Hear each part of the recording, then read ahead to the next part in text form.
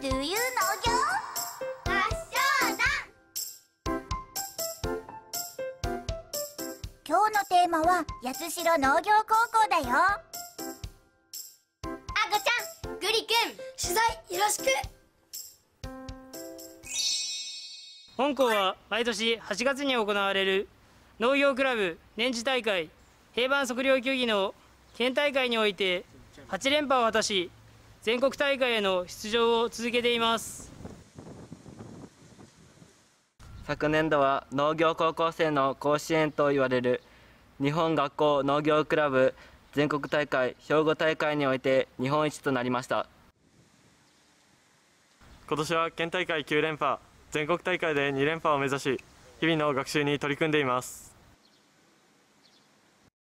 県大会で8連覇すごい成績ですね私たちなぎなた部は県内でも珍しい部活動です。昨年度は女子演技競技の部でインターハイ男子個人戦で初めて全国選抜大会に出場するなど活躍しています。さらに今年はなぎなたで日本一に7回も輝いた素晴らしい指導者を迎え再び全国の舞台を目指しています。なぎなたの練習かっこいいですね。私たち福祉家庭科は服飾文化という科目で浴衣作りに取り組んでいます。一つの反物を裁断し一針一針心を込めて縫い合わせ完成を目指しています。ここで作成した浴衣は学校の文化祭で行われるファッションショーで披露しています。出来上がった浴衣は自分で着ることができるように着付けの勉強もしています。出来上がりが楽しみです。浴衣私も着てみたいです。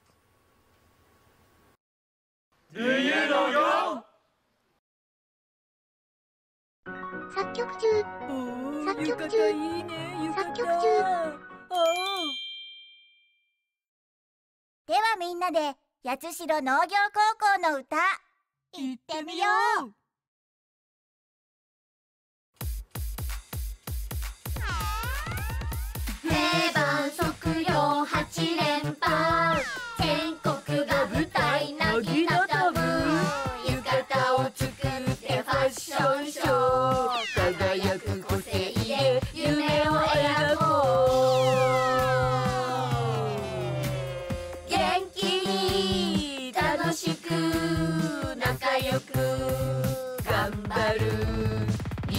の母校八代八代農業